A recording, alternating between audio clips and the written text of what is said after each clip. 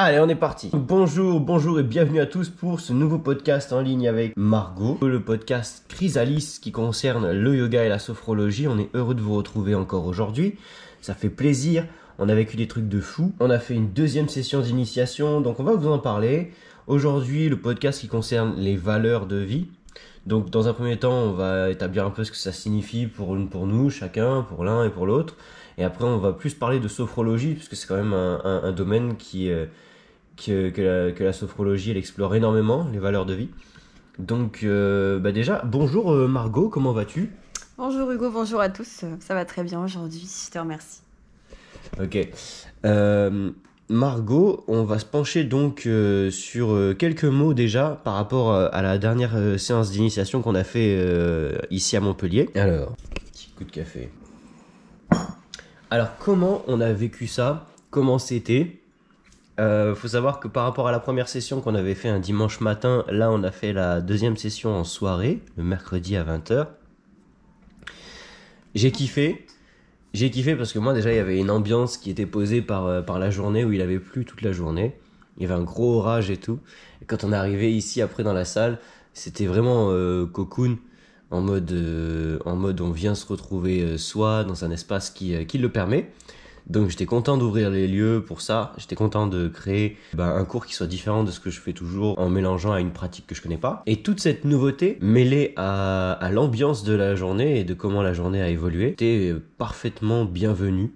Je pense que du coup que ce soit nous ou ceux qui sont venus, tout le monde était prêt à, à passer ce moment. Tout le monde avait besoin de passer ce moment. Donc déjà premier jet sur euh, sur l'arrivée et sur comment ça s'est présenté, j'étais euh, j'étais là en mode yes, yes, c'est euh, c'est pas un cadre qui me stresse, c'est un cadre qui est propice à à ce qu'on parle et à ce qu'on fasse des choses dans ce sens en mode bien-être, euh, yoga, on se pose des questions sur soi et tout. Au début, on se demande qui va venir parce qu'il y avait des grosses trompes d'eau, il y avait beaucoup, il y avait de l'orage et tout. Et finalement, bah, il n'y a eu qu'une seule personne qui n'a pas pu se libérer, mais sur, sur les neuf inscrits qu'on avait, tous sont venus.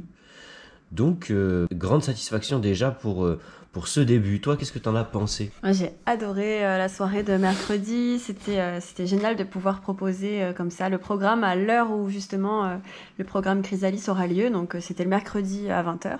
Enfin, 20h30 pour cette fois d'ailleurs. Et c'est vrai que l'ambiance de la pluie, c'était très agréable. Ça faisait vraiment un, un espace cocooning où on s'est tous retrouvés là dans cette pièce avec le bruit de l'orage derrière, la pluie. Et euh, du coup, j'ai vraiment euh, apprécié euh, ce moment et, et c'était très intéressant de voir aussi la diversité des personnes qui se sont présentées à nous ce jour-là. ça prouve que vraiment notre programme, il peut parler à tous et chacun peut se retrouver dans toutes les personnes qui étaient présentes mercredi soir. Et voilà, c'était super qu'on se retrouve là tous ensemble et, et, on a démarré la pratique d'abord avec toi, avec une pratique de yoga. Ce qui est cool, du coup, quand, quand tu dis qu'il y a des gens de, de toutes parts qui étaient là, c'est que même dans, dans, les pratiquants, il y en a, ils n'avaient jamais fait de yoga, il y en a, ils n'avaient jamais fait de sophrologie. Donc c'est ça aussi qui les différenciait énormément, c'est qu'il y en avait, ils avaient une approche plus approfondie et d'autres pas du tout. Exactement. Donc ça nous permettait, nous, de voir si euh, ce qu'on voulait donner, c'était, euh, ça pouvait parler à tout le monde. Et, euh, et ça, ça, a été une belle surprise en tout cas. D'ailleurs, certains sont venus avec une idée un peu, euh, un peu préconçue de ce qu'ils allaient préférer. Et en fait, euh, dans, quand on a eu le partage des vécus à la fin, voilà, c'est ça. C'était intéressant de voir qu'en fait, c'est l'inverse qui s'est produit. Donc voilà, c'était très intéressant de pouvoir pratiquer ensemble et de proposer d'emblée en fait une, une, mise en une, une, mise en bouche de notre programme. Je sais pas comment on peut appeler ça. Ouais, c'est ça, complètement. Et euh, donc, tu as d'abord fait ta partie euh, yoga et après, j'ai proposé ma partie sophro. Et après, on est tous sortis de la pratique et on a partagé euh, un thé tous ensemble. Par rapport à la première partie sophro que tu avais fait en extérieur, là, tu étais dedans. Ouais, c'était différent. C'était différent parce que en plus, la salle a une super résonance. Donc, pour poser la voix, c'est complètement différent. Et j'avoue que je préfère pratiquer en intérieur. Euh, et, là, c'était très très agréable même de passer juste après, euh, juste après le yoga. J'ai senti que tout le monde était vraiment euh, à l'écoute et, et, prêt à entendre ce qui allait suivre. Et, Ouais, il y en a beaucoup qui ont, qui ont eu des retours en mode Ah, ouais, par contre, la sophro, waouh, ça m'a fait partir de ouf. Et donc, euh, bah, ça, j'étais content. J'étais content de voir qu'il y avait. Tout le monde avait du mal à revenir à la fin. Ouais, tout le monde a pu être réceptif à sa manière et tout le monde après a eu son, son lot de, de ce qu'il recherchait. Euh, Il y en a d'autres qui ont pas, euh, qui ont eu plus de mal du coup à se plonger euh, vers eux-mêmes et qui étaient trop contents de la, partie yoga où ça bougeait aussi et où ça les mettait vraiment dans un truc à faire de concret qui leur permettait de déconnecter pour de vrai. Donc on a chaque, on s'est rendu compte que chacun avait ses méthodes pour déconnecter et que du coup nous notre programme il, permettait de créer des outils pour tout le monde, pour tous les profils. Donc en ça c'était très agréable de pouvoir euh, partager ce qu'on avait à partager et euh, que les gens soient réceptifs à ça. D'ailleurs, le moment qui a été justement le plus important après, quand on est passé au thé, ça a été euh, le- les débriefs, parce qu'on a fait le tour de chacun exprès. On les a un peu mis comme ça, genre, allez, dis-nous toi ce que t'as pensé, alors qu'ils étaient à chaud, ils avaient peut-être pas envie de parler ou quoi. Mais bon, c'était dans l'idée de les piquer un peu. Et, euh, et ils, se sont, euh, ils se sont libérés un peu à parler d'un truc euh, qui était même sur le vif, mais ils en ont parlé en prenant un peu des pincettes, en voyant comment, comment ils pouvaient déjà avoir un avis dessus alors qu'ils n'avaient pas de recul. Donc c'était inté- intéressant en fait d'avoir d'avoir leur avis là-dessus. Et c'est en ça qu'on voyait qu'ils avaient tous même des perspectives différentes ou des besoins très différents. Mais que dans tout ce qu'on avait proposé, il y avait au moins un truc à chaque fois qui répondait à leurs besoins. Ça, c'était assez agréable. D'ailleurs, en, sophrologie, ce qui est très important, euh, c'est euh, le partage des vécus à la fin des pratiques. Euh, parce que c'est grâce à ça, après, qu'on peut adapter aussi. Enfin, moi, en tout cas, je peux adapter ma pratique en fonction des besoins des personnes. Et là, même avec tous les retours qu'on a eus, je sais que voilà, je pourrais peut-être adapter différemment ma pratique si besoin. Et euh, voilà, c'est très important que chacun puisse s'exprimer, exprimer ce qu'il a ressenti. Et on comprend surtout qu'il n'y a rien à réussir, euh, rien à rater. Euh, chacun vit son expérience euh, comme il est censé la vivre. Et euh, le plus important, c'est d'accepter, en fait, d'accepter euh, comment on a vécu ce moment. Il n'y a pas de bon ou de mauvais. euh, directions différentes. Exact. Il y a tellement de directions qui sont possibles, une infinité, ça va dans tous les sens. Chacun, quand il se met à l'écoute de lui-même, il peut aller dans son sens. Il y a une élève qui a re- relevé à un moment donné quand j'ai dit que on avait beau tous être en collectif, on était quand même bien seul avec nous-mêmes dans certaines postures, dans certains moments qui étaient difficiles. Et, euh, et c'est vrai qu'elle l'a relevé et que ça lui a parlé parce que bah, elle s'est rendue compte que même si on était entouré, il y avait ce truc de oh, je suis quand même seul avec ma posture, seul avec mon corps. Et, euh, et ça reste un chemin personnel avant tout, même si je suis entouré de gens. Je trouvais ça cool qu'il y en ait qui puissent se dire, ok, même quand je suis euh, pas que dans mon espace personnel, là, je peux aller chercher autre chose. Il y a ça aussi que je voulais rajouter. Ce qui est cool, à un moment donné, je leur ai dit, en fait, vous avez vu, c'est un cocon ici. C'est un espace qui est, euh, qui est vraiment cool. On se sent bien ici. On est prêt à s'ouvrir un peu plus à soi et tout. Mais c'est un cocon un peu perturbateur. Parce qu'il y a eu plein d'éléments qui venaient les perturber. Déjà que ce soit nous qui leur proposons la phase à la fin de, discussion, ou alors pendant, quand il y avait, euh, euh, quand il y avait le chat qui miaulait, quand il y avait euh, la, rue dehors et tout, je leur ai dit, en fait, il y a plein de moments dans ce cocon, ou même dans des postures qui seront inconfortables, vous allez vous sentir piqué, vous allez vous sentir affecté par quelque chose. Et c'est le meilleur endroit, justement, ce cocon, pour pouvoir faire face à ces choses. Parce que sinon, vous, vous y faites face quand, en gros, c'est trop tard, quand, quand vous cédez aux pulsions, quand vous cédez à des trucs qui vous ressemblent pas ou à la colère.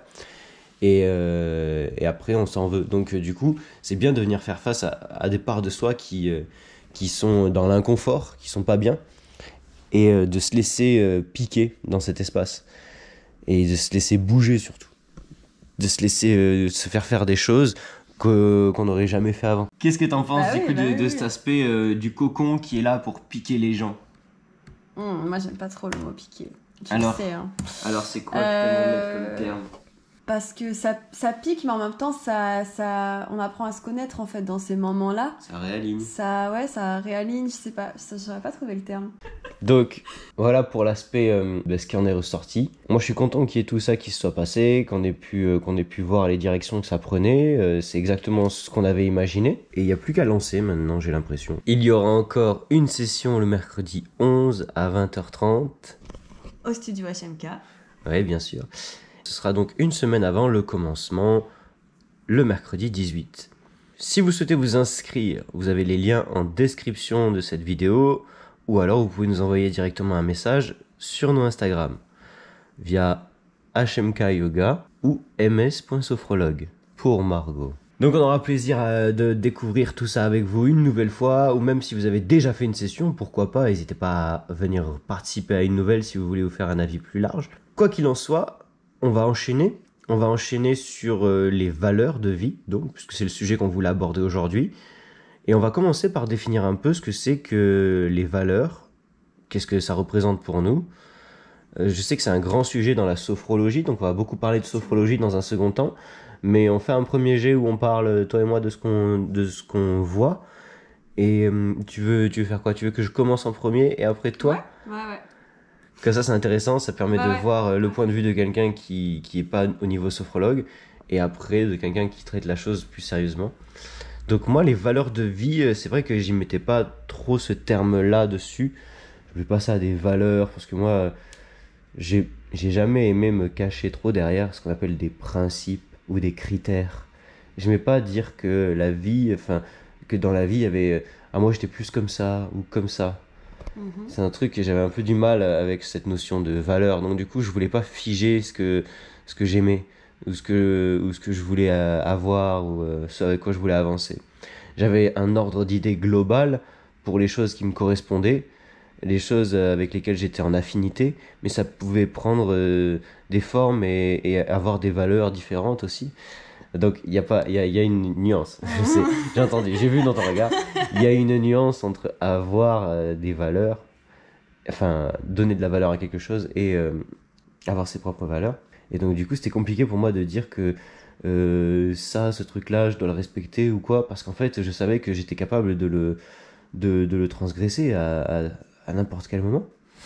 Donc les valeurs au début je les ai pas construites comme ça. J'étais en mode je cherche une direction, voilà. Et, euh, et juste, euh, je m'articule autour de tout ça, je prends tout ce qui vient, et, et surtout ce qui est différent de moi. Ceux qui, sou- souvent c'était du coup des personnes que je rencontrais, c'était des gens qui fonctionnaient différemment de moi, qui avaient des avis bien arrêtés sur les choses, des valeurs bien précises, et qui le revendiquaient fortement. Mais je les trouvais toujours un peu plus enfermés dans leur vision, et, et je faisais tout pour essayer de les comprendre, mais je sentais que chez eux, au bout d'un moment, il y avait une barrière pour me comprendre. Et j'étais en mode, ok, bon, bah. euh, non, il a ses principes, il a, il a, il a figé ses, ses étiquettes. Donc, euh, si d'un coup je déborde sur cette étiquette, il va pas vouloir chercher plus loin. Et, et c'est pour ça qu'après, du coup, je pense que tout le monde peut le vivre et le ressentir. Il y a des personnes avec qui on, on arrive mieux à se livrer que d'autres. Il y a des personnes à qui on, on sent on peut dire plein de choses parce qu'ils tiennent pas, enfin, ils ont peut-être moins de valeur et donc, du coup, ils tiennent pas compte du fait que les gens en ont. Donc, eux, on peut leur dire plein de trucs. Et des fois, les gens qui ont trop de valeur ou trop de, principes ou des trucs comme ça, ça va être difficile de se confier à eux parce que on va avoir peur qu'il y ait un regard, un jugement, un truc en fait, qui tire des conclusions vis-à-vis de, des- valeurs qu'ils portent déjà avec eux. Donc du coup, on a plus de mal à se positionner avec des gens qui ont des valeurs trop fixes. Et c'est ça qui faisait que moi, je voulais pas fixer mes valeurs à la base. Donc pour moi, qu'est-ce que ça signifie? Les valeurs, aujourd'hui, je dirais que c'est quand même une notion importante à cultiver parce qu'elle permet de se rendre compte de ce qui agit euh, à un niveau plus profond, plus inconscient. Et quand on se rend compte qu'en fait, il y a un truc qui est une vraie valeur pour nous, qu'on veut garder à tout prix, euh, que, qu'on veut pas perdre, et ben ça, c'est euh, ça, ça, ça nous permet d'agir profondément sur ce qu'on fait. En gros, ça a des répercussions sur ce qu'on fait aussi. Quand, euh, je vais donner un exemple. Par exemple, tu, tu te rends pas compte que les, les animaux, c'est un truc super important pour toi, c'est une valeur. euh, c'est, il faut protéger les animaux, protéger la nature. Ça peut être une valeur. Ouais, bien sûr. Bon voilà. Ben, cette valeur, tu t'en rends pas compte que c'est une valeur que t'as. T'es là, les animaux, tu te comportes avec eux, tu les aimes, tu les adores et tout. Et un jour dans ta vie, tu tombes sur euh, un homme qui bat son chien ou qui, euh, qui bat un animal, tu vois. Là, tu vas te rendre compte que t'as une valeur en fait qui agit à un niveau plus profond qui fait que t'as pas pu te, te retenir devant cette personne et que t'as peut-être t'as agi ou peut-être tu t'es senti mal ou peut-être t'as été en mode Oh, putain c'est c'est trop lourd ce qui se passe là je peux pas voir ça et, euh, et ça ça a touché un truc profondément et donc tu te rends compte que t'avais une valeur que t'as pas exprimée voilà voilà ce que voilà ce que voilà, voilà ce que ça signifie pour moi une valeur c'est euh, des choses aujourd'hui je les vois comme euh, des trucs dont il faut se rendre compte Mais pour se rendre compte de ces valeurs, il faut aller au-devant de la vie et au-devant de ce qu'on connaît pas. Sinon, on peut pas savoir quelles sont nos valeurs. Si on va que dans euh, ce qui nous plaît et qu'on teste pas des choses différentes de nous, eh ben, du coup, on se rend pas compte de quelles sont nos réelles valeurs et de ce avec quoi on est en accord ou non. Ouais, voilà, je dirais que c'est ça pour moi la signification d'une valeur, c'est ça avec quoi on est en accord. C'est avec quoi Plus- on est en accord Ouais, plus simplement. Ok. Voilà. Voilà, voilà, pour un petit tour bref de, de comment je, je conçois cette notion. À toi, ma chère. Euh, avant même de, euh, de nous demander même qu'est-ce que peut être une valeur, ça peut être intéressant de, de nous demander qu'est-ce qui guide nos choix et nos actes au quotidien. En fait, euh, je vais donner des exemples. Les thunes Par exemple, il y a des personnes euh, qui vont euh, rendre visite à leur famille euh, très souvent. Par exemple, tous les dimanches, ils vont voir leur famille. Il y en a d'autres qui vont travailler énormément et pour eux, vraiment, le travail, c'est très très important. Pour d'autres, ça sera le voyage euh, ou voir des amis, aller au sport. Le cul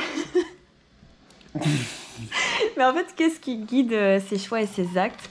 Ben, En fait, c'est nos valeurs. Nos valeurs, euh, comme si en fait nos valeurs représentaient même notre identité. Euh, les valeurs, elles nous permettent euh, de, elles nous permettent déjà de prendre des décisions au quotidien. Attends, elle représente Notre identité. notre identité. Ouais, en fait, tes valeurs, c'est ton identité. Tu, tout à l'heure, tout à l'heure, tu parlais de personnes qui ont beaucoup de valeurs, d'autres qui en ont pas beaucoup, mais en fait, on en a tous énormément, Ouais. mais elles sont différentes. Après, comme je l'ai soulevé Voilà. à la fin, C'est ça, c'est que pour moi, du coup, aujourd'hui, je me rends compte que c'est un truc qu'on doit découvrir. Complètement. Alors qu'avant, euh, avant, oui, j'avais cette idée sur ceux qui figeaient les valeurs et ceux qui en figeaient pas. Et je pensais que c'était comme ça ou comme ça. C'est très important de prendre conscience de ces valeurs. Très important. Et d'ailleurs, quand on prend conscience euh, de nos valeurs, euh, on modifie notre conscience. On passe d'une conscience ordinaire à une, confi- à une conscience éveillée. Parce qu'on devient acteur de notre vie et responsable de nos choix, de nos actes. Et on arrive à les comprendre. Euh, d'ailleurs, en sophrologie, voilà, on fait un gros travail dessus sur les valeurs. Et on en proposera un aussi pendant le programme Chrysalis. Donc, ce qui nous permet au quotidien de prendre des décisions, de mettre en place des actions, de renforcer nos projets et euh, même d'orienter notre vie, euh, notre carrière, etc. Ce sont nos valeurs. Les exemples de valeurs euh, les, plus courants, on va avoir l'amour, l'amitié, la liberté, la sécurité. Pour certains, ça va être la solidarité, la protection animale aussi, c'est une valeur. La justice, la santé. Et, pour toi, qu'est-ce que ça signifie en, en quelques termes simples Pour moi, eh ben, une valeur, ça nous représente. C'est euh, en fait, je suis tout- toutes mes valeurs, les valeurs qu'on m'a euh, appris euh, du coup et qu'on m'a transmises, les valeurs de mes parents, de euh, ma culture, de mon héritage, de la société. Et il y a les valeurs qui sont plus ancrées dans, dans notre vérité profonde, des valeurs en lien avec notre personnalité. Voilà. Et en fait, pour moi, des valeurs, c'est simplement qui on est, c'est on est nos valeurs. Ok. Ok, on est nos valeurs. En fait, ouais, on, bah alors, on est nos valeurs. c'est vrai Ouais. que quand je le dis, Ouais. on peut pas vraiment dire ça. Euh, on, on les incarne au quotidien. En fait, notre vie est rythmée par nos valeurs. Euh, on peut prendre un exemple euh, de notre rituel matinal. Euh, si on regarde tout ce qu'on fait du réveil jusqu'au moment où on sort de chez nous, en fait, c'est totalement nos valeurs qui sont en lien avec chacun de nos actes. Euh, du coup, nos valeurs, c'est celles qui rythment nos journées, nos vies, nos projets. Enfin, elles sont constamment présentes, mais si on n'en a pas conscience, euh, on va pas pouvoir après les mobiliser. Mais du coup, il y a, il y a ce truc que tu dis que notre valeur crée, que nos valeurs, pardon, créent notre identité. Ouais. Ça paraît un peu superficiel à, à première vue entendu comme ça. Elle crée notre identité, donc elle crée euh, l'étiquette avec laquelle on se dissocie de tout le monde. Elle crée un truc, du coup, nos valeurs, Bah, c'est ce qui fait la différence. Ouais. qui, qui Ouais. fait qu'on on se, on se distingue des autres, qu'on se, est, sépare. euh, on se- alors, c'est pas vraiment se séparer, mais. T'aimes pas les termes que j'utilise j'aime pas tes termes. On, on se sépare pas, on, on devient aussi nous, nous-mêmes, en fait, avec notre propre Ouais. identité. Et donc du coup ça, désolé, hein, on revient à un sujet dont on a déjà parlé, mais c'est en ça, je crois que je l'avais dit dans le premier podcast, c'est en ça qu'on voit aussi que la sophrologie, bien qu'elle ne se veuille euh, pas du tout euh, d'une quelconque spiritualité ou quoi, elle va toucher chez les gens euh, des notions qui sont grandement en lien avec leur spiritualité, qu'ils le veuillent ou non. Dans la pyramide de Maslow, euh, les besoins spirituels sont les besoins de réalisation de soi et en fait les valeurs, elles sont directement liées aux besoins spirituels de la pyramide de Maslow. On est vraiment- La pyramide de Maslow Ouais, pyramide de Maslow. je m'y connais pas, je m'y connais pas énormément. Je vais pas pouvoir. euh, je sais qu'il y a. Un fait, ordre euh, d'idée, donne une rêve pour que les gens aillent chercher sur internet. euh, bah, la pyramide de Maslow, c'est une pyramide qui a été créée avec les besoins euh, de réalisation de soi des individus.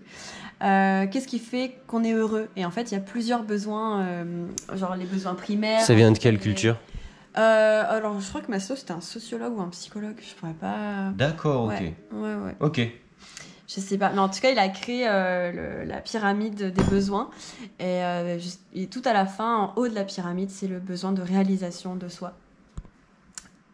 Ok, très intéressant. Mais là, j'avoue, je suis pas euh, hyper, hyper calée en pyramide de Mais donc, mais donc euh, non, pour en revenir au- à la sophrologie euh, et le lien qu'on peut faire du coup avec la spiritualité, Ouais.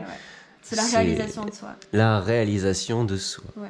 Mais le soi, ce qui est marrant, c'est que dans les autres religions, comme le bouddhisme ou, ou même plein d'autres, hein, c'est en mode, euh, il faut se détacher de l'identité qu'on a, de, ce- de cet ego qui crée une étiquette de nous, pour pouvoir accéder pleinement à qui nous sommes. Parce qu'en fait, à chaque fois qu'on met un nom sur quelque chose, on limite cette chose à être que rien de plus que le nom qu'on lui a donné. Tu vois un peu? Ouais, je vois. et il y a cette vois. notion euh, de dans le zen, cette notion de, de présence, de de tout, euh, du fait que tout se recrée à chaque instant, et que le seul moyen de faire, euh, euh, de connaître une chose, c'est d'en faire l'expérience. Autre, euh, autre qu'en faire l'expérience, tu peux pas connaître une chose euh, si, si tu la nommes de loin ou des trucs comme ça, tu vois. Mais En les gros, valeurs, elles sont, les valeurs sont une expérience, puisque nos valeurs, on peut totalement déterminer chacun de nos comportements avec une valeur. bah oui. Elles sont une expérience. Après, quand je dis c'est vrai que identité, Ok. euh, c'est peut-être pas l'identité comme toi tu la considères, qu'elle est liée à l'ego. Euh, moi, c'est plutôt euh, euh, l'identité, l'identité qui explique nos comportements. Pourquoi moi je Ah. me comporte comme ça et pourquoi toi tu te comportes euh, différemment? Parce que si on avait, si on était tous C'est donc l'identité complète pour toi, celle qui est celle qui mélange Ouais. le conscient et l'inconscient. Oui, complètement. Ouais, celle qui mélange les deux et juste euh, qui fait que bah je n'aime pas forcément les mêmes choses que toi. Et je sais pas pourquoi. Voilà, en Ouais. fait, c'est surtout pourquoi euh, moi je, je vais voir ma famille euh, tous les dimanches. Bon, c'est c'est pas le cas, mais, mais si c'était le cas, pourquoi je le fais? Et en fait, quand on se remet en question là-dessus, on va comprendre nos valeurs et comprendre aussi quelles sont les valeurs qui nous sont transmises, celles dont on veut se débarrasser aussi. Parce qu'il y en a qui nous appartiennent pas. Il existe parfois des dissonances entre nos valeurs qu'on nous a transmises et celles qui nous représentent vraiment. Et euh, là aussi, le travail en sophrologie va être très intéressant pour euh, être au plus près de soi plutôt que ce que les autres ont voulu qu'on soit. Oh, ok. ok, ok. Très, très intéressant. Non, mais du coup, c'est bien, ça me fait... euh, Vous voyez, moi, du coup, je questionne Margot parce que, parce que j'aime bien savoir, creuser. J'essaye d'aller voir, en mélangeant aussi avec les connaissances que j'ai, si, euh, si du coup, elle-même, elle, euh, elle arrive à trouver des explications, peut-être à mes interrogations. Donc, euh, ça peut partir un peu dans tous les sens. Mais euh, bon, désolé, Enfin. des fois, vous allez voir, dans le podcast, ça va souvent arriver. Il y aura des moments comme ça où, euh, où on est en pleine réflexion et, et en gros, je vais pas enlever ces moments-là, je vais les laisser pour que vous puissiez aussi vous, vous laisser glisser à une imagination et à une interprétation libre. Comme ça, au moins, on fige pas euh, nos avis euh, et vous, ça vous permet d'explorer aussi euh, comment vous voyez les choses par rapport à ce qu'on vient de dire. Et d'ailleurs, c'est pour ça que je vous invite à commenter ce podcast et même à nous envoyer des messages pour qu'on en discute plus profondément s'il y a certains aspects qui vous ont touché ou certaines conversations où vous, vous auriez aimé dire un truc ou si ça vous avait fait penser à un truc qu'on n'a pas dit par exemple mais que vous trouvez pertinent.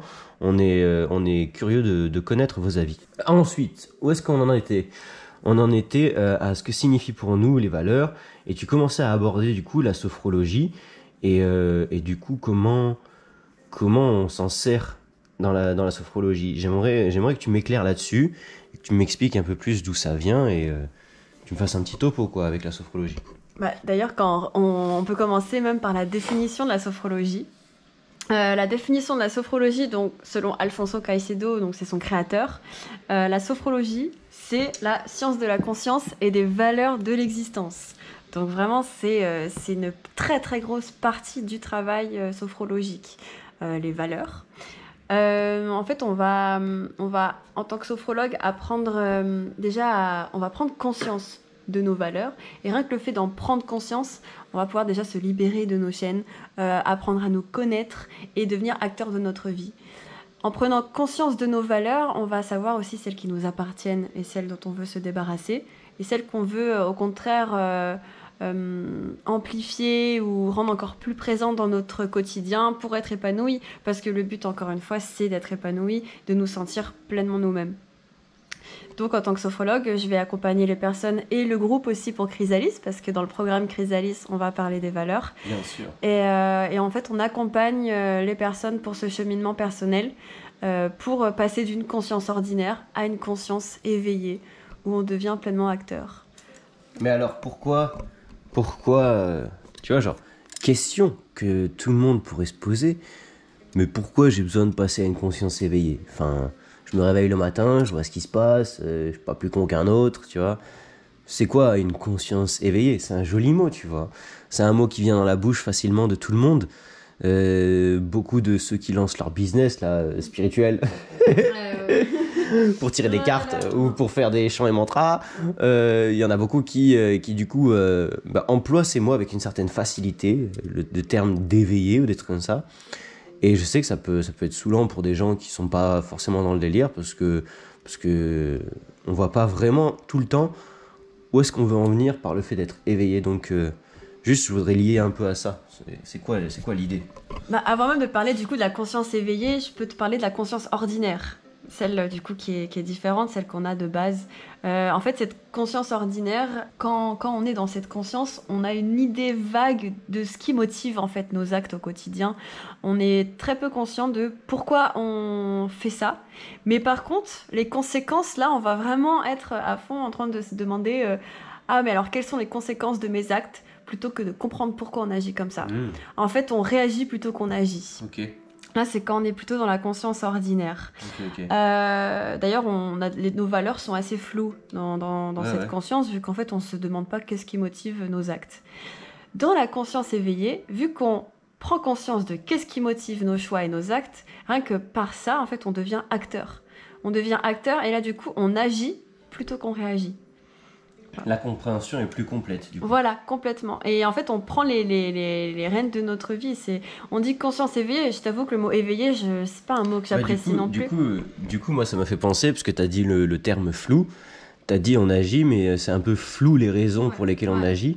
Alors, ce que tu proposes, ça veut dire que plutôt que d'être dans une conscience éveillée, moi, j'ai eu le terme euh, d'une conscience nette entre guillemets. C'est-à-dire en gros, tu rends les choses nettes, Tu, tu, comprends, euh, tu vois plus nettement euh, qu'est-ce qui t'a poussé à agir bah, Et, c'est cette idée qui te rapporte du coup de la clarté, euh, dont le fait d'être éveillé, peut-être le mot clarté, c'est ça qui, ça qui a permis à, certains de dire ah oui je me sens éveillé, c'est parce qu'en fait je vois les choses plus clairement. Euh, ouais, il peut y avoir cette notion d'ombre, de on ne sait pas ce que c'est, de flou, qui, qui, qui, est lié à nos perceptions. Ouais, et après, une conscience nette, c'est vraiment ce qui naît du, de l'exploration de soi via la sophrologie du coup et via, via la, compréhension de nos valeurs, c'est euh, ça amène plus de netteté dans, dans notre champ de vision et, euh, que ce soit de, la vision externe ou de la vision interne. La vision de ce qui nous entoure ou de la vision après de comment nous on interprète les choses à l'intérieur. Donc ça nettifie autant à l'intérieur que l'extérieur. Ça nettifie. D'ailleurs, la sophrologie apporte, euh, apporte cette, cette apporte ce cheminement entre la conscience ordinaire et la conscience nette, euh, comme tu dis. Mais il n'y a pas que la sophrologie, il y a aussi des, grands moments de notre vie.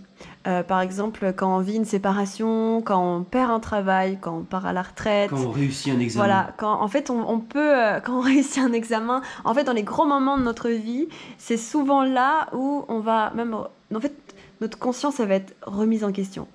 Il va se passer quelque chose où Peut-être que certains se reconnaîtront euh, dans leur vie, à, un moment de leur vie, mais on passe à une conscience nette dans ces moments-là parce qu'on essaie de, de comprendre mais pourquoi en fait je, fais ça et où est-ce que je vais? Et là c'est les grands moments de remise en question. Ah yes. Tu sais que ça me fait penser. Ça me fait penser il y a un an justement j'étais j'étais en Grèce et euh, je crois que je t'ai déjà raconté. Mais quand je suis revenu j'ai eu cet aspect un peu où je me sentais, euh, je me sentais là et je me disais euh, à Montpellier, il faut que, faut que je bouge, il faut que j'aille à Biarritz faire euh, tout ce que je voulais faire depuis le début. Et j'ai fait waouh, et je me suis barré d'un coup. Et, et genre, j'ai entrepris tellement de choses en l'espace de six mois. J'ai fait, j'ai vécu des aventures de fou. Et, euh, et ouais, cette, cette clarification, elle m'est venue parce que j'ai vraiment pris un moment pour moi. Je suis parti, je suis allé dans un endroit où ça a été un moment très important de ma vie.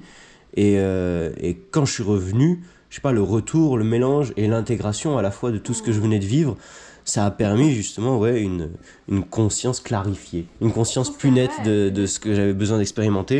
Et je me suis dit, c'est maintenant ou jamais. Donc j'avoue que ce, cet aspect qui permet de d'être éveillé entre guillemets donc de clarifier de, de rendre nette la vision Ouvrir les yeux, même. On pourrait Ouvrir les yeux, ouais. C'est un truc- c'est un truc qui nous, qui nous incite à agir, à avoir de la motivation. Et c'est en ça que c'est magique. C'est que du coup on est là, et souvent quand on comprend pas de quoi les gens parlent, quand ils disent euh, éveiller tout ça, déjà ça nous saoule à tout bout de champ parce qu'ils arrêtent pas de parler d'amour et de lumière et on est là en mode fermez vos gueules. Mais quand, euh, quand on comprend, on est en mode euh, euh, ah d'accord, euh, non, je vois ce que c'est. Bon, Il, il parle d'être éveillé, euh, il est un peu dans son délire de fou, mais dans l'idée, je comprends, je comprends à quel point ça peut donner de l'énergie. Je comprends à quel point ça peut me pousser vers l'avant, de mieux me comprendre. Et donc, euh, oui, il y, a un- il y a un réel intérêt en fait dans le fait de m'éveiller entre guillemets. Il y a un réel intérêt dans le fait de m'intéresser à moi, à ce que j'aime, et d'essayer de mieux comprendre ce que je vis. C'est pas, c'est pas juste un truc mystique où, euh, où je parle d'amour, des trucs comme ça.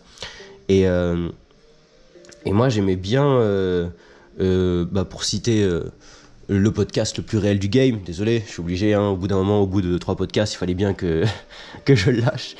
Mais pour citer le podcast le plus réel du game, donné par notre cher ami Raptor, le Raptor, vous tapez ça sur, sur Spotify, vous verrez le Raptor 10 000 pas. C'est un, un podcast qui m'a beaucoup inspiré parce que parce que c'est une personne qui, euh, qui est franche et qui apporte des vraies connaissances. Donc pour le citer, lui, à un moment donné, dans un de ses podcasts, il, explique euh, cette notion euh, de dire je t'aime, remercier, commémorer et tout. Et il le dit en mode, euh, en fait, vous pouvez faire un post Insta pour euh, commémorer, vous pouvez euh, euh, dire que vous êtes euh, pour tel truc, que vous soutenez tel mouvement. En fait, ça n'a aucune valeur. Vous pouvez dire je t'aime à quelqu'un, dire merci, ça n'a aucune valeur. Et ça, j'aime bien parce que du coup, ça, ça remet en place. Et, et il expliquait ce qui va faire que vous remerciez quelqu'un, ce qui va faire que vous aimez quelqu'un, c'est les actes concrets que vous mettez en place pour prouver à ces personnes que vous les aimez, les actes concrets que vous mettez en place pour prouver que vous commémorez. Si par exemple euh, vous commémorez pour des gens qui sont morts à la guerre et tout, qui ont sacrifié leur vie pour que vous ayez une certaine liberté aujourd'hui, le meilleur moyen de commémorer ce, truc-là, c'est tous les jours en vous levant, en faisant de votre vie quelque chose, en, en mettant en place des trucs qui vont qui vont faire que votre vie elle est elle a du sens. Et quand vous passez votre temps à euh, jouer aux jeux vidéo, euh, à attendre que la vie elle passe ou à vous morfondre sur des choses qui sont passées et qui n'ont plus rien à voir avec euh, ce qu'il y a aujourd'hui, bah vous n'aurez pas ces choses-là. Vous attendez le bon le bon moment pour vous faire bien voir en faisant un joli post Instagram. Euh, vous parlez avec les autres en mode vous vous mettez d'accord sur euh, sur les valeurs que vous partagez, mais après vous avez aucune preuve concrète derrière de ce que vous soutenez. Et bref, moi j'ai j'ai beaucoup aimé ce qu'il ce qu'il avait transmis dans ce sens-là, dans l'idée qu'il y en a beaucoup qui font que parler de certains principes aujourd'hui. Et il y en a beaucoup dans le domaine de la spiritualité, du yoga et de ce genre de choses. Et il y a beaucoup de personnes du coup qui disent ah ouais non mais ça je connais, ça j'adore.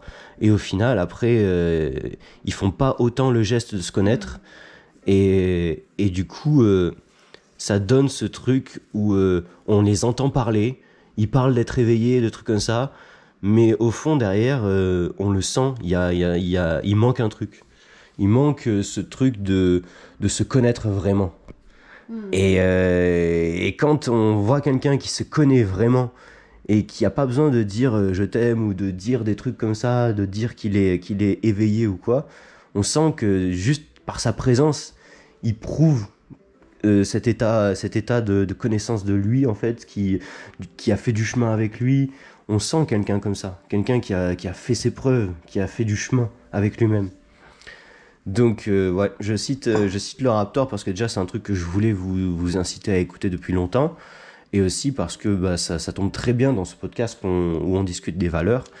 Euh, c'est comment aussi euh, vous êtes fidèle à vos valeurs. Est-ce que vous faites que juste en parler ou est-ce que vos valeurs, c'est des choses qui, que vous vivez chaque jour pour elles? Ça, c'est intéressant. Du coup, comment on poursuit nos valeurs Comment, une fois qu'on les, a, qu'on les a définies, comment, une fois qu'on s'en est rendu compte, on peut, les, on, on peut être fidèle à ces valeurs? Tiens, c'est une question que je te pose. Non, mais c'est bah, non, effectivement comment on peut être fidèle à ses valeurs? Mais moi, je te rejoindrais aussi surtout sur euh, est-ce que euh, les valeurs qu'on a, elles nous appartiennent vraiment? Ou est-ce que c'est des valeurs Ouais. qu'on euh, qu'on croit euh, posséder pour répondre à une image euh, qu'on aimerait renvoyer? Ou est-ce que c'est nos valeurs euh, profondes? Et c'est surtout ça en fait qui est intéressant. Euh, être fidèle à ses valeurs, oui. Après, c'est être fidèle à ses valeurs, nos valeurs de, euh, les valeurs qui nous représentent vraiment. Comment faire pour être euh, fidèle dans notre quotidien, dans chacun de nos actes.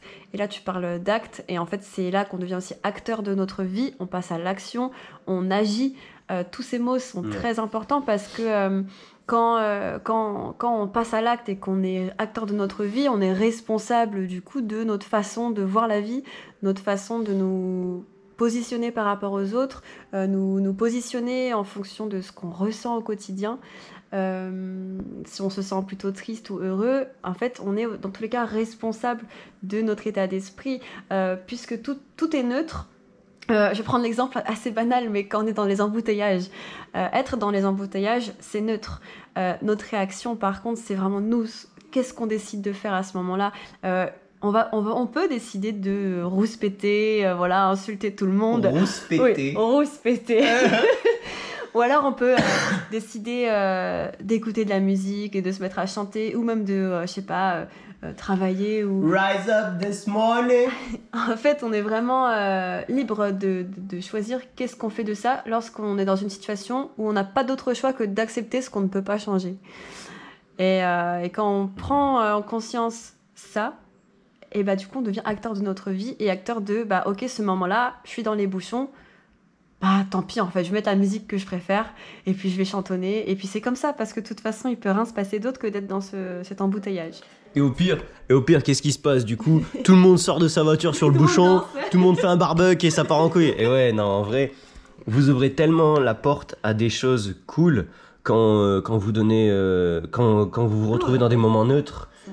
Quand vous vous retrouvez dans des moments neutres, comme Margot l'a décrit, vous donnez tellement. euh, Vous avez, le choix en fait de créer des opportunités pour vous et ceux qui sont autour de vous. En fait, vous jugez, vous, vous soupçonnez pas, mais des fois, à des moments où vous allez choisir de vous embarquer dans une rengaine qui dit non, ça me saoule, c'est pas le moment, si et ça. Mais en fait, autour de vous, même les gens, ils vont pas se sentir à l'aise pour, euh, pour kiffer euh, la situation. Ils vont être en présence de gens qui s'énervent. Donc en fait, ils vont pas être dans un cadre où ils auront envie d'être bien. Tandis que si vous êtes là et vous dites bon bah quitte à être là, tant pis, hein, euh, je vais prévenir ceux, que, ceux qui m'attendent que c'est bon, c'est fini, j'arrive plus tard. Et ça arrive. Donc maintenant, je vais juste kiffer et je kiffe là où je suis. Et en fait, les gens, ils vont voir autour d'eux.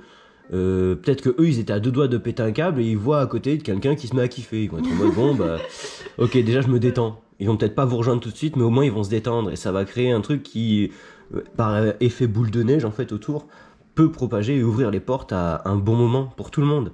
Et je pense que si tout le monde avait conscience de cette capacité qu'il a à choisir sa direction quand il est dans- dans un espace neutre comme ça, ben on, on créerait un monde qui est tellement plus agréable à vivre, ne serait-ce que dans des bouchons. Ouais.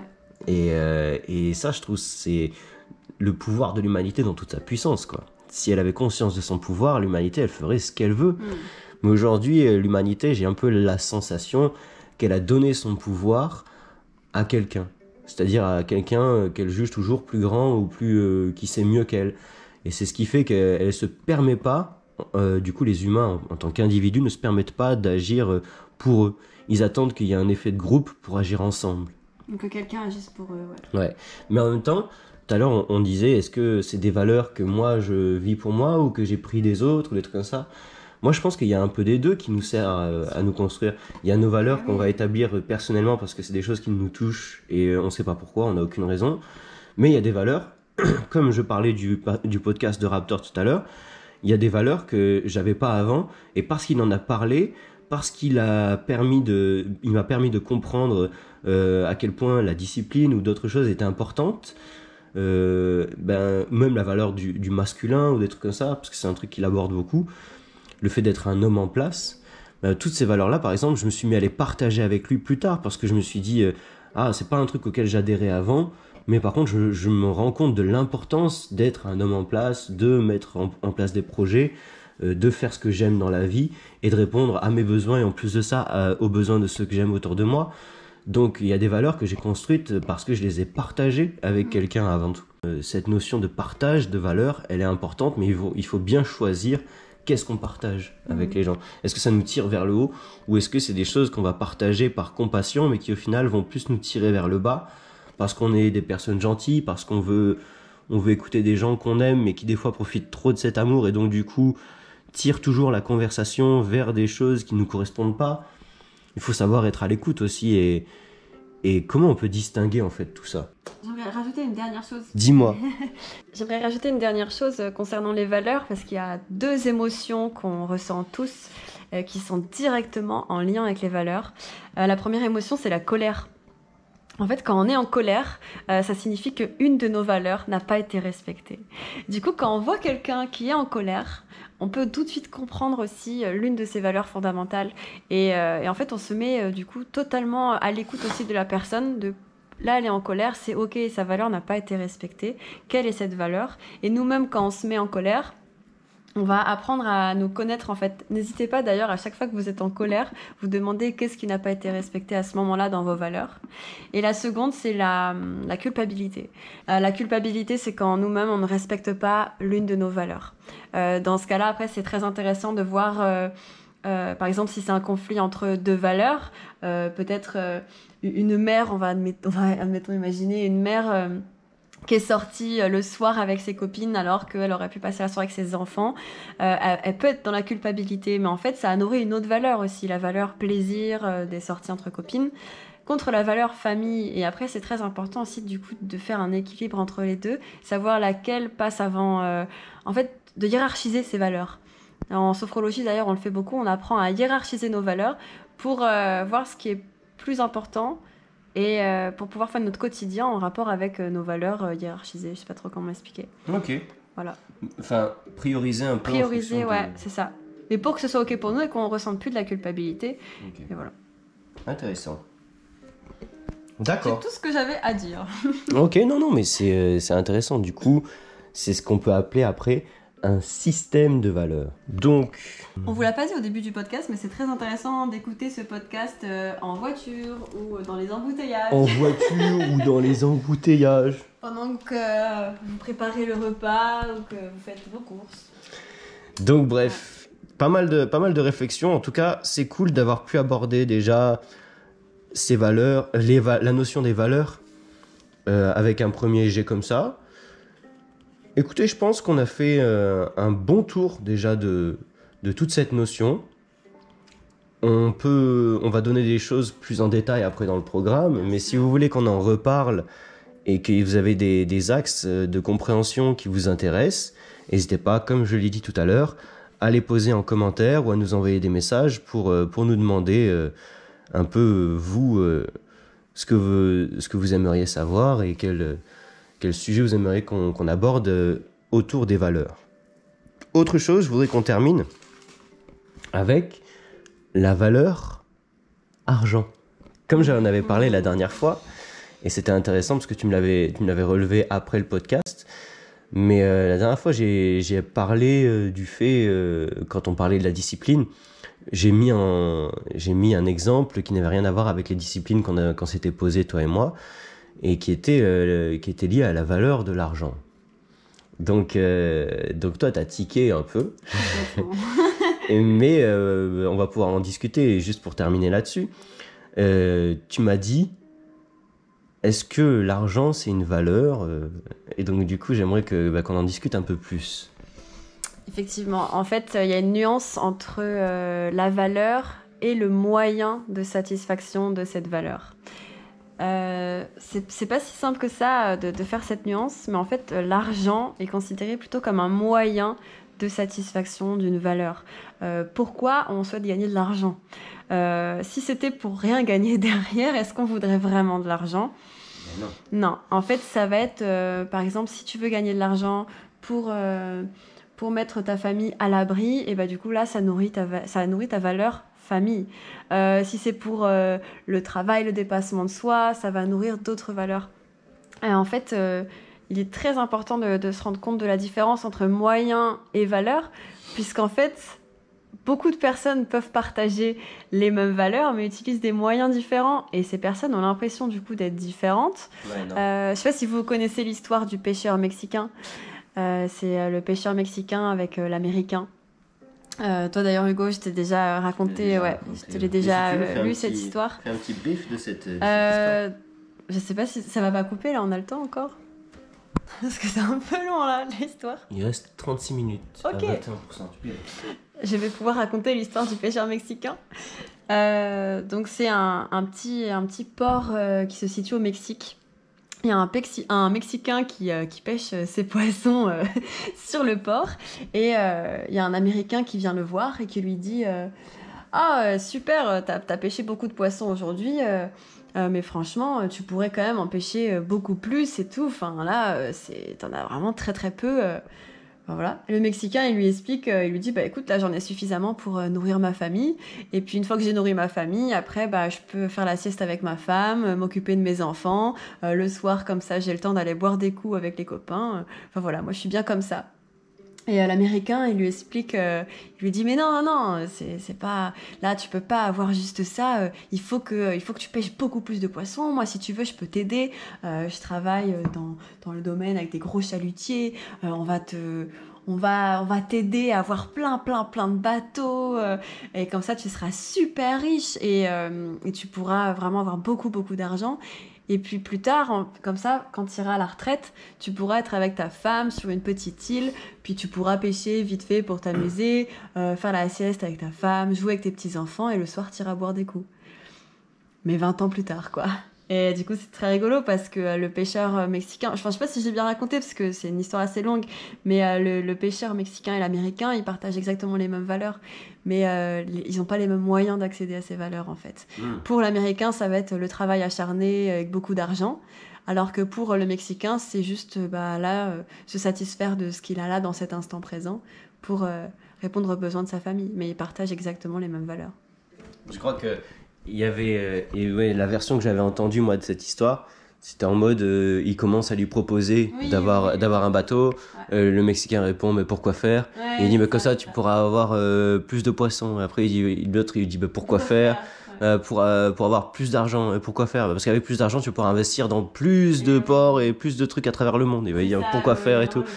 et il dit bah, parce qu'au moins dans 15 ans tu pourras ça ça et ça et à chaque fois, l'autre, il dit pourquoi faire, et il finit par arriver, l'américain lui dire, bah, comme ça, quand tu auras tout ça, tu pourras vivre une vie, une vie tranquille, où tu profites de telle chose, telle chose, et de tout ce que, tout ce qu'il a dit, dont il profitait au début déjà. Et du coup, il dit, mais j'ai déjà tout ça, là. ouais, non, c'est intéressant. Cette histoire est intéressante.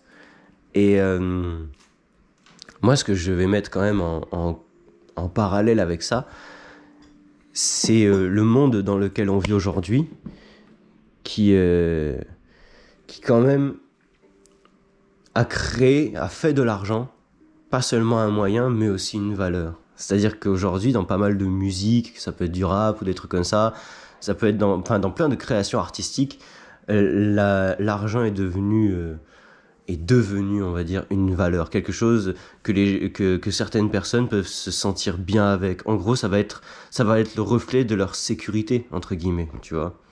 Ça va être le reflet de... La sécurité est une valeur. La sécurité est une valeur. Mais donc, du coup, il y a plein de gens qui ont transmis leur valeur sur ce moyen, entre guillemets. Et ils font pas la différence. Ça veut dire que pour eux, l'argent est devenu une valeur en tant que tel. Tu vois un peu? Et, euh, et c'est en ça que je me dis... Euh, est-ce que du coup, ce serait pas finalement euh, l'argent une valeur déguisée qui permet aux gens de connecter aussi sur, euh, sur, des plans, euh, sur des plans plus hauts, sur des plans avec plus de moyens, entre guillemets? Parce que finalement, des gens qui se donnent plus de moyens vont pouvoir se rejoindre plus loin sur des valeurs qui, ah, qui ont plus de profondeur. Les moyens de satisfaction de nos valeurs sont très importants. Et plus on se donne les moyens, effectivement, plus nos valeurs sont nourries et plus on est épanoui.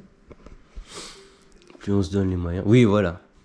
Ouais. Euh, Ça, ça, je trouve que c'est important de, de, de cultiver ces moyens et de, de les diversifier surtout. Euh, pour en revenir une troisième fois au podcast de Raptor, Raptor il pousse vachement les gens qui l'écoutent à entreprendre, à faire plein de choses à côté pour qu'ils puissent euh, être satisfaits de la vie qu'ils mènent. Et euh, et il y a ce truc de parfois rester dans le confort des valeurs déjà acquises et, euh, et par manque de moyens, entre guillemets, on, on fait taire d'autres valeurs qui pourraient être satisfaites. oui. Et, euh, et moi j'aime bien parce que même si du coup euh, ça nous fait mettre de côté certaines valeurs, qui peuvent être par exemple la valeur de confort, ok, je mets la valeur du confort de côté parce que je vais devoir me mettre dans le dur pendant un moment pour avoir plus de moyens, je trouve que ça a du sens aussi. C'est euh, euh, ok, je vais peut-être je vais peut-être euh, faire une croix sur la valeur du confort. Ça va me mettre en colère, je le sais, parce que du coup, vu qu'une valeur ne sera pas satisfaite, comme tu as dit tout à l'heure, je vais être en colère, je vais pas être bien. Euh, mais euh, je vais créer plus de moyens. Et par contre, quand j'aurai plus de moyens, je vais pouvoir satisfaire, satisfaire d'autres valeurs que je pouvais pas satisfaire avant aussi. En sophrologie, on apprend euh, du coup à trouver tous les moyens nécessaires. On apprend à, chercher tous les moyens nécessaires pour satisfaire nos valeurs. Et il y a tout un travail en sophrologie là-dessus où on va vraiment remettre notre vie en question, notre quotidien en question. Pour déjà, on va comprendre nos valeurs et surtout quels sont les moyens, comment je peux faire là tout de suite pour satisfaire ces valeurs? Et ça va être très intéressant, euh, là tout de suite aussi, mais dans 20 ans. Dans 20 ans, quels sont les moyens que j'aimerais avoir pour satisfaire ces valeurs-là, etc. Dans 30 ans, 40 ans? Parce que, parce que tu vois, moi, du coup, j'ai pas envie que ceux qui nous écoutent, ils se disent euh, Ah, ben c'est bon, je connais mes valeurs, j'ai plus besoin d'évoluer, j'ai juste à répondre à mes valeurs. Non, euh, si je voulais qu'on aborde le sujet des valeurs, c'est pour que vous réfléchissiez à l'idée de vous dire Ok, quelles sont mes valeurs actuelles? Genre, actuellement, qu'est-ce qui me fait réagir? Qu'est-ce qui me pousse vers l'avant? Et euh, maintenant, est-ce que je peux pas faire évoluer peut-être mes standards et les valeurs que j'ai? Est-ce que je peux pas les faire évoluer vers quelque chose qui me correspondrait plus? Parce qu'il faut que, il faut garder cette notion de recherche aussi par rapport à soi. Et si vous vous dites c'est bon, j'ai trouvé mes valeurs et, et vous prenez ça pour acquis en fait, euh, vous allez avoir un revers de la vie à mon sens qui va faire que vous allez être satisfait pendant un temps. Au bout d'un moment, ça va toujours être la même chose et vous allez croire que putain, ben non, j'avais trouvé mes valeurs, pourquoi je suis pas heureux, pourquoi j'ai toujours un truc qui va pas Parce qu'en fait, vous, aurez, vous serez passé à côté d'une chose qui est fondamentale, c'est faire évoluer ces valeurs, faire évoluer vos standards, euh, continuer d'être un humain qui, euh, qui, euh, qui a des perspectives qui évoluent au fur et à mesure du temps. Et, et ça, j'ai pas envie, pour, enfin, pour vous, pour ce podcast, pour le programme qu'on met en place qui, vise, qui vise la transformation, j'ai envie que vous gardiez à l'esprit de vous dire ah ok, il faut que, il faut que ce- cette connaissance de moi-même, de mes valeurs, elle me donne de la motivation, elle m'incite à agir, elle m'incite à mieux me connaître et donc à, aller au-devant de choses que je connais pas aussi pour mieux me connaître, etc. Donc voilà, tout ce qu'on a dit déjà dans le podcast de la discipline, tout ce qu'on a dit euh, jusqu'à maintenant vis-à-vis des valeurs, ça se rejoint finalement, ça se recoupe. Et je suis très content que dans ce podcast, on ait pu déjà lier un peu tout ce qu'on a dit dans les deux premiers. Donc euh, bah, je pense qu'on on est bon pour conclure sur cette image-là. On n'a pas forcément plus de conseils à donner. C'est vrai que dans les deux premiers podcasts, on donnait des, conseils et tout. Là, on va pas avoir trop de conseils à vous donner. Je pense que tout ce qu'on a dit au sujet des valeurs, c'est déjà une bonne base pour que vous puissiez vous poser des questions sans forcément vous donner un truc à faire en particulier. À la limite, si vous voulez un conseil déjà sur qu'est-ce que vous pouvez faire de simple pour mieux connaître vos valeurs, rituel matinal, Vous pouvez noter, euh, noter votre rituel matinal euh, étape par étape de votre réveil euh, jusqu'au moment où vous partez de chez vous et vous associez chaque étape à une valeur. Voilà. Par exemple, si vous faites le rangement et le ménage le matin, ça répond à la valeur propreté. Si vous prenez du temps pour vous maquiller, vous préparer, ça répond à la valeur beauté, etc. Et du coup, en faisant ça, vous allez déjà prendre conscience d'une grande partie de vos valeurs. Et vous pourrez faire pareil après avec votre rituel même du soir, euh, votre rituel du week-end, etc.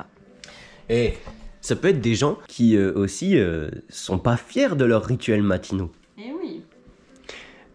Genre, euh, je me lève, j'allume une clope, ça répond à quelle valeur? C'est très intéressant. Très intéressant de savoir. Je me lève, euh, euh, je prends euh, un petit café, une Ça clope. répond à une valeur. Ça répond à quelle valeur? Euh, Je me lève, euh, je commence par un jeu vidéo. Ça répond à quelle valeur? C'est intéressant. en fait, ouais, elles ont des- c'est, c'est des valeurs. hein. Ça aussi, c'est, c'est lié aux valeurs. Sais pas. Ouais, en fait, on, on peut se demander, genre, par exemple, là, si je fume une cigarette le matin, quelle valeur ne serait, ne serait pas respectée si je ne la fumais pas? Souvent, on a malheureusement tendance à associer la cigarette au plaisir, mais ça, je pourrais en parler dans un prochain podcast, vu que je suis une ancienne fumeuse qui a réussi à arrêter de fumer, donc euh, je sais de quoi je parle.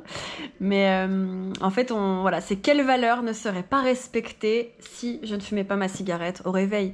Quelle valeur ne serait pas respectée si je m'interdisais de jouer aux jeux vidéo? Et en fait, on voit du coup là, c'est quand même pas mal peut-être les valeurs plaisir, la valeur plaisir qui prend quand même une grande place, même si euh, le plaisir il est euh, illusoire. Mais bon, ça c'est surtout pour la cigarette, on en parlera plus tard. Le plaisir, le plaisir dans la mesure où il est instantané Mm. et euh, fourni, c'est-à-dire on a du plaisir sans effort réel, c'est en ça qu'il est illusoire. Parce que du coup, c'est c'est une sorte de plaisir de substitution qui n'est pas vraiment mérité, et ça, notre corps, toute, euh, toute notre chimie à l'intérieur, elle le sait. Alors que quand, euh, quand on a fourni un vrai effort et qu'on a du plaisir, c'est une satisfaction qui, Ah est, qui est totalement différente. Bah, il existe, de toute façon, c'est la différence entre, euh, je sais pas comment on appelle ça, mais le plaisir enfant et le plaisir adulte. Euh, Ouais. Il y a le plaisir qui répond à un besoin euh, imminent, je crois, et après il y a le plaisir où c'est plus ah je saurais pas, non ça je vais pas pouvoir l'expliquer parce que Bah, bah moi, je, je sais trouve, plus. du coup, ça fait Ça fait juste, il y a deux notions. Il y a un plaisir qui pour moi est constructeur et un plaisir qui est destructeur du coup. Ouais, ouais, ouais, ouais, ça Le plaisir que- euh, pour lequel on fournit de l'effort, il va être plus constructif, il va nous aider à nous construire. Et le plaisir destructeur, c'est celui qu'on a, qu'on a obtenu sans effort. C'est celui qu'on a obtenu en allant euh, sur, un site, euh, sur un site pour adultes parce que du coup, on ne sait pas, genre, on- on n'a pas pris le temps de, de rencontrer des personnes, d'a- d'avoir accès à la vie ou des trucs comme ça. On a, on a préféré soulager un besoin par le biais de la facilité. ouais, il y a- y y la notion de plaisir qui est là pour ouais, soulager un besoin, et ça c'est le plaisir enfant. C'est le plaisir qui euh, soulage un besoin, euh, même euh, voilà quand on a faim, etc. Et après il y a un- une notion de plaisir qui, est, qui est différente, mais il faudrait que je retrouve euh, le- le- des données là-dessus. Ça peut être le plaisir, bah, par exemple, du jeu vidéo qui offre de la satisfaction de, de, de, de gagner ou de ou d'avancer, alors que en fait, c'est juste un truc qui n'existe plus une fois qu'on a terminé la Après, partie. il y a le circuit de dopamine, Ouais. Voilà, avec euh, le système de récompense qui est mis en jeu aussi beaucoup dans la notion de plaisir. Et ça, on voit que nos niveaux de dopamine, eux, ils chutent quand on a accès à des plaisirs qui sont euh, où où il n'y a pas d'effort qui est fourni. Que quand on, on, on a accès à du plaisir, où on a fourni un vrai effort pour y arriver, euh, un plaisir où on s'est on s'est vraiment intéressé à une personne, par exemple, et on a passé un bon moment avec elle, un plaisir euh, où euh, on voit notre corps qui a changé parce qu'on a fourni les efforts sur des mois et des mois, un plaisir d'un projet qui réussit parce qu'on a travaillé. Euh, celui-là, il augmente, celui-là, il augmente no- nos niveaux de dopamine. Et donc, du coup, il augmente notre motivation quotidienne et la, et on va dire le, le mana, l'énergie Mm. qu'on est capable de dépenser dans, euh, dans ce qu'on fait, dans nos projets quotidiens. Et si, euh, si on est dans une routine qui détruit ces niveaux de dopamine, c'est, cette motivation, on aura plus de mal à avoir une constance. Donc, euh, euh, on s'est encore éparpillé par rapport à ce qu'on disait. Donc, bref, voilà. Je pense que pour conclure, on est bien. Je pense qu'il y a un sacré paquet de choses qu'on a apportées. Cette fois-ci, on a moins classifié les choses et on s'est un peu plus permis d'aller dans tous les sens. Ce qui est cool aussi, euh, faut pas toujours se tenir aux mêmes règles, histoire de varier un peu et d'ouvrir la porte à, à d'autres possibilités dans le podcast. Donc moi, j'ai kiffé faire ce format un peu plus libre, euh, bien qu'on choisisse un sujet en particulier. Dites-nous, euh, vous, ce que vous en avez pensé. Margot, un dernier mot euh, sur la fin euh, Quelque chose euh, Bah, merci à tous ceux qui nous écoutent, déjà. Sans eux, ça serait pas possible. Merci, merci aussi. Il y en a qui sont venus sur l'initiation et qui nous ont dit qu'ils avaient écouté le podcast avant, donc on est content que ça puisse vous servir en fait, qu'il y ait ce support-là pour euh, peut-être vous offrir plus d'informations. On vous souhaite de prendre soin de vous, on vous dit à très bientôt et on vous tiendra au courant du coup des nouvelles et de tout ce qui se passe au fur et à mesure. À très vite pour de nouvelles aventures avec Chrysalis. À bientôt! Bisous bisous